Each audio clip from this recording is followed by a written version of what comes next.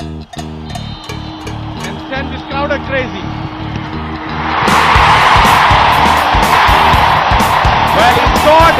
Chilam Lajong have the lead. Here we go.